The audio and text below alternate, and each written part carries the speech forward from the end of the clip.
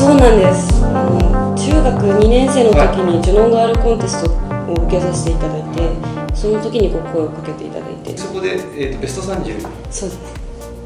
なんか何社か声かけていただいてるので面接をしましょうみたいな感じでそれぞれこう面接っていう形で何社かこう対面でお話をさせていただいた時にああ会長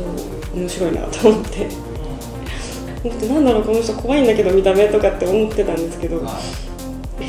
でもそこからこういろいろお話をしててなんか事務所に入ったからってそんな売れるわけでもないし夢がすぐかなとかそんな甘い世界じゃないぞっていうのをこんこんとこう話をしてくださってそれを見た時にあこの人だったらついていきたいなっていうふうに思ってなんか一緒に戦ってくれそうだなというところで。日芸本当はその高校卒業して仕事一本で行こうかなって思ってたんですけど、はい、まあ、その野田さんも大学には行けっていうのをすごく推してたのと、はい、まあ、学校その当時の担任の先生高校の担任の先生に記念受験でもいいからどっか大学受けてくれっていうのであじゃあ分かりましたって言っていろいろ探して、まあ、自分のやりたいことにつながってる大学ってどこだろうなって思った時に、まあ、日芸かと思って日芸受験しますって言って受験することにしてもともとその AO で受けようと思ってこう書類書いてたんですけど、はい、その書類風味で帰ってきちゃって。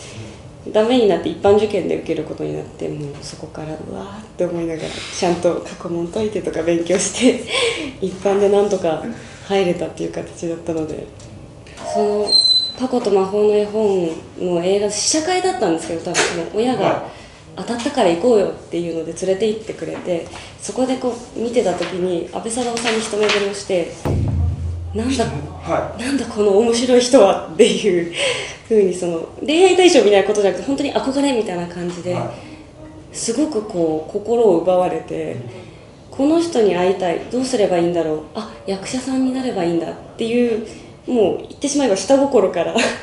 役者を目指し始めてかれこれここまで来ました。でもそこからなんかこう何かと原動力にはなっていて作品を見るためにやっぱり会いたいなとって思うし私もこういう役者さんになりたいっていうのがあって好きな男性のタイプ？もう安倍貞夫さんに入ってさっきはちょっとそれは違うって感じなんです全然その違うんですよね。そこはまた別枠というか、はい、なんだろう。でもちょっとこう職人気質っぽい人とかは、うん。グッとくるなとは思っていて、はい、なんだろうその人のカラーがあるというか、は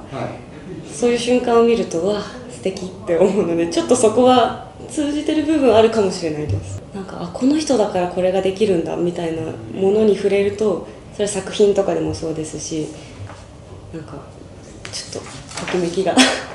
今回あの玉木こたつちゃんという役を演じさせていただくんですけど、はい、その第1作目からずっと続けて今回第4弾までやらせていただいてるんですけどすごいこう猫ちゃんみたいな感じのちょっとツンデレっぽいキャラクターであのラッキースケベラレっていうその得意体数があって結構その服がパーって抜けちゃったりとか結構こうそういうハプニングが起こりがちでちょっとどちっこなんですけど、負けず嫌いというか根性があって。どんだけやられてもこうへこたれないで頑張るっていう役を演じさせていただいてます。じゃあ足掛け3年ぐらいそうですね。もうじゃ役が中に入ってきてるんじゃないですか？そうですね。なんかこう他のなんだろう終わってじゃあ日常に戻ったりとかしてもなんとなくこうずっと玉木ちゃんが中にいる感じはあってふとした瞬間にあ元気かなって思ったりとかもあるんですけど。ラッキースケベラレが本当にあの演出が難しくて毎回こう試行錯誤しながら演出の久保田さんとお話ししてどうすればその原作に忠実にはやりたいけどやりすぎると過激になっちゃうからそこの塩梅をとかっていうのをすごい探っていていかにこううまく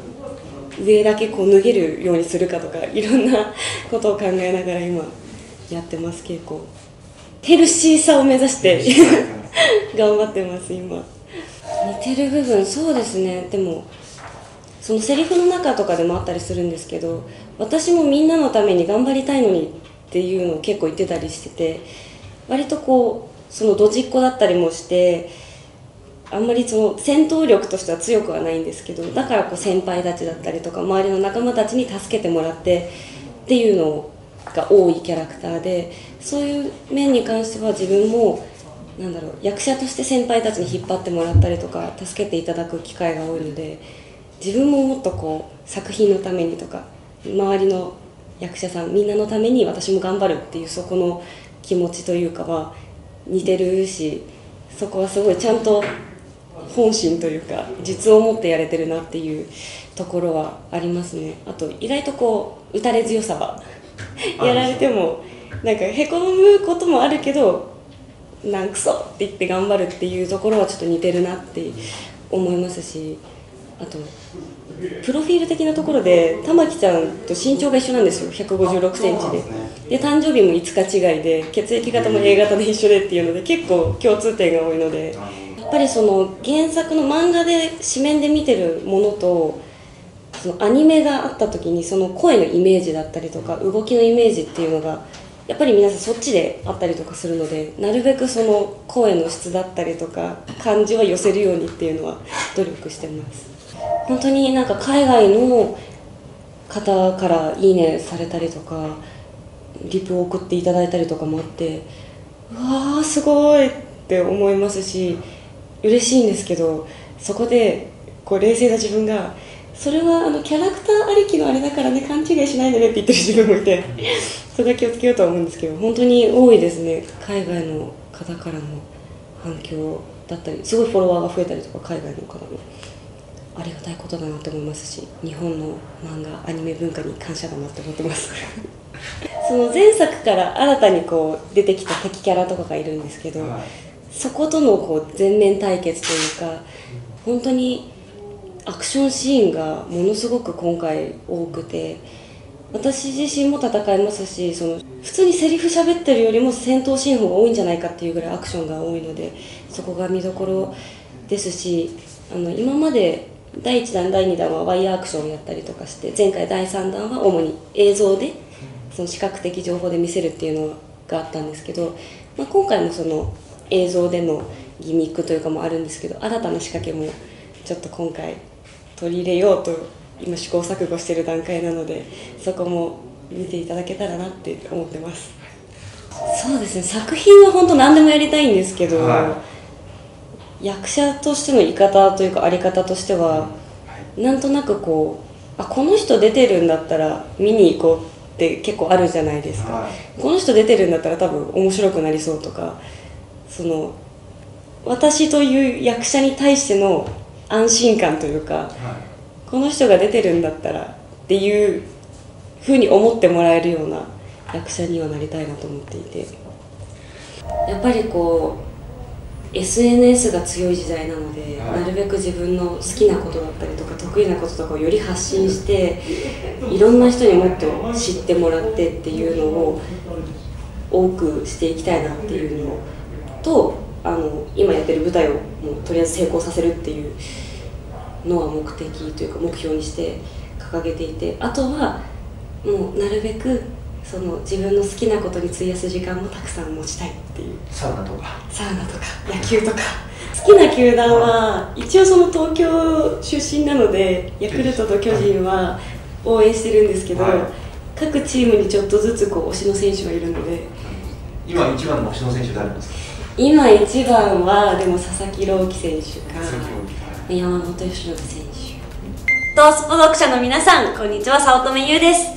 えー、今回、えー、取材をしていただきましてインタビューも載るのでぜひチェックしていただきたいなと思っております。そしてえー、3月24日から4月2日まで舞台永遠の消防隊大阪東京公演ございますのでぜひぜひチェックのほどよろしくお願いします。